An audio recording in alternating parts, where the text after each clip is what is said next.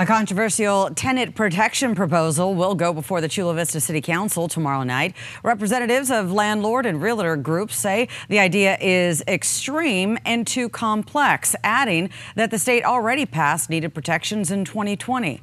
One example, they say, is that landlords would be forced to provide as much as one year notice to tenants if they had to move out during a needed major repair or remodel.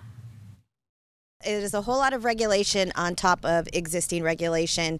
Uh, landmark legislation was passed a few years ago that really put in place rights, extreme rights for tenants that really hasn't had a chance to work since the pandemic came right on the heels of that, which came with its own patchwork of regulation.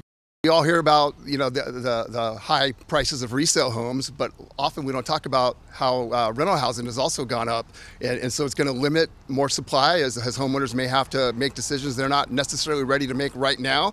And then you got to think about down the road, maybe five years, ten years from now, what the impact will be.